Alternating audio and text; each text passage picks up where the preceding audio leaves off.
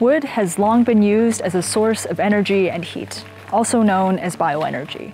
In this video, we'll explore what bioenergy is used for, its advantages for remote communities, and its environmental impact. In today's forest economy, there are a range of biofuels for transportation and sources of energy for electricity and heating that come from sustainable forest biomass. Certain types of forest biomass can be converted into liquid, gaseous, or solid biofuels. These biofuels provide a renewable energy source. For example, sustainable aviation fuel can be made from forest materials, reducing emissions by as much as 80%. Solid biofuels, like wood pellets and wood chips, can be used in residential or commercial buildings for sustainable heating. Biofuels can also substitute for fossil fuels to support the production of lower carbon cement and steel materials for construction.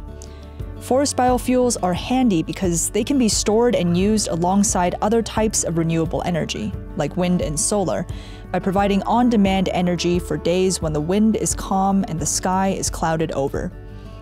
Forest bioenergy can also support rural and remote communities which may not be connected to larger energy grids or which are otherwise reliant on fossil fuels. This makes energy supplies more resilient, reliable, better for the environment, and provides these communities with new economic opportunities. You may be asking, why is forest bioenergy sustainable? Doesn't burning forest biomass release the carbon from trees back into the air? While that is correct, forest bioenergy is sustainable in Canada because biofuels are made from low value forest materials that can't be used otherwise. By law, forests in Canada are regrown in harvested areas. So, while that bioenergy may release carbon, it doesn't upset the balance of carbon in the atmosphere like fossil fuels do.